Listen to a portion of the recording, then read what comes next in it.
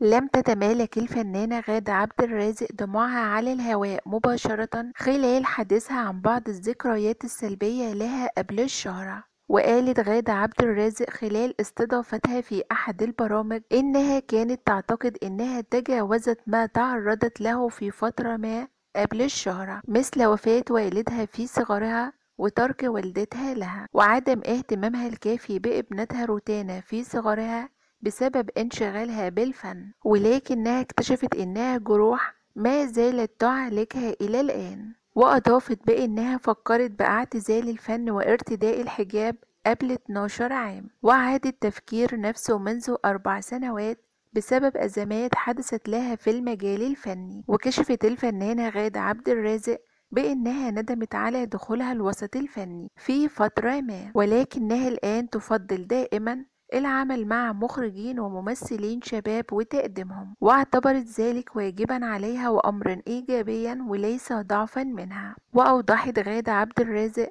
بأنها ستشارك في مسلسلها الجديد مع مخرج جديد للمرة الأولى. وستقدم 15 حلقة فقط بسبب عدم امتلاكها الوقت الكافي ولشعورها بالإرهاق من المسلسلات الطويلة ذات الثلاثين حلقة. وأشارت غادة عبد الرازق إلى إنها أصيبت بالغرور بعد نجاح مسلسلات سمارة ومع سبق الإصرار وحكاية حياة وتعرضت للأذى وقتها بسبب ذلك. منها إنها كانت تتصرف بطريقة مختلفة عن شخصيتها وتصرفها بطرق غير ذكية مع بعض أزماتها ولفتت إلى إنها تمكنت من التغلب على تلك الحالة ووصفت نفسها بالسيدة المثابرة والقوية والضعيفة في الوقت نفسه وذكية ومحبوبة وصديقة وفية ووالدة جيدة. ووصلت غادة عبد الرازق حديثها بأنها لم تقدم أي تنازل في مسيرتها الفنية بل كافحت وعملت منذ صغرها